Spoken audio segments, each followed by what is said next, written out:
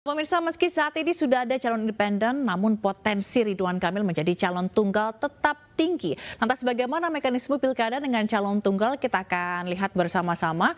Ini sementara bila ini yang menang kotak kosong, maka pemilihan ulang akan dilakukan pada periode berikutnya. Sementara posisi gubernur DKI Jakarta ini akan diisi oleh uh, pejabat sementara. Namun jika memang nantinya lawan kotak kosong, sehingga calon tersebut ini harus mendapat mendapatkan uh, apa suara begitu ya ini harus lebih dari 50 persen. Nah ini jadi peluangnya kalau misalnya emang lawan kota kosong, ini nanti calon ini harus mendapatkan 50 uh, eh, lebih dari 50 uh, eh, suara, 50 persen suara.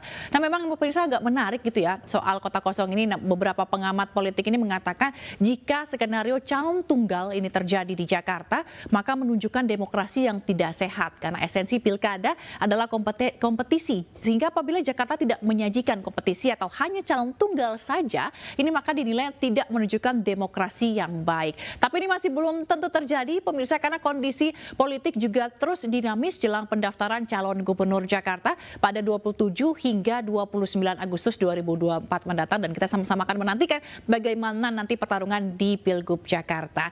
Nah pemirsa jangan ke mana-mana usai jeda ada informasi mengenai Presiden Jokowi yang menyoroti banyaknya dana hibah di daerah untuk kepentingan politik. Selengkapnya usai jeda tetaplah bersama kami.